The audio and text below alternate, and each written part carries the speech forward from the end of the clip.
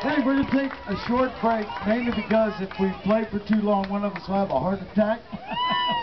and that song was really fast. But we're going to take a short break. Our CDs are for sale. It's, uh, music that we wrote ourselves. You can probably tell that. And uh, we got one more set to go, so please stick around. We're the Yard Dogs. We'll be right back.